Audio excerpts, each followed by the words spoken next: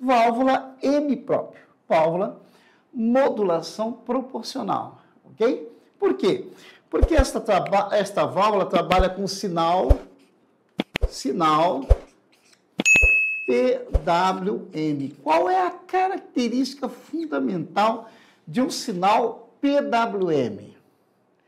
O sinal PWM, ele estabiliza a tensão. Então, uma válvula M-PRO trabalha com uma tensão que vai de 8 até 32 volts. Trabalha com uma tensão de 8 a 32 volts. Ou seja, se a tensão tiver no sistema com 8 volts, ela tranquilamente funciona, porque ela tem essa variação de tensão de alimentação. Mas o sinal PWM, como eu estava comentando, ele é um sinal que, cuja atenção de trabalho vai ser fixa. Então, vejam, 12 volts, se o sistema operacional do veículo é 12 volts, vai ser 12 volts. Claro que essa é a tensão da bateria.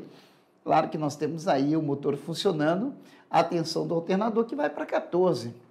Se é 24, vai para 28, mas não tem problema nenhum. Porém, essa tensão ela é estabilizada. O que, que muda? A largura do pulso dentro de um período. Então, essas válvulas que trabalham na linha de baixa pressão, linha de baixa pressão. Baixa pressão. É claro que ela precisa que o óleo, porque o óleo saia do tanque e chegue até a válvula para passar pela válvula e depois ingressar no elemento da bomba. Esse é o circuito. Então, nós temos no circuito, podemos ter uma bomba alimentadora mecânica, ok? Acionada pelo próprio eixo da bomba de alta, ou podemos ter uma bomba elétrica alimentando, ou seja, o diesel que está no tanque vai chegar até a válvula M própria. Precisa chegar até a válvula? Precisa. Com uma pressão estabelecida? Precisa. Por quê? Porque o elemento de uma bomba o elemento de uma bomba tão pequeno, né? Ele tem um movimento retilíneo alternativo. E esse movimento retilíneo alternativo gera uma pressão negativa quando ele desce, nós já explicamos isso em outras aulas. E esta pressão negativa tem que ser anulada pela pressão positiva que vem da bomba alimentadora. Ora, se esta bomba de alta está a 4 mil rotações, este elemento tem uma velocidade de subir e descer, um movimento retilíneo alternativo, a uma velocidade proporcional a esta rotação.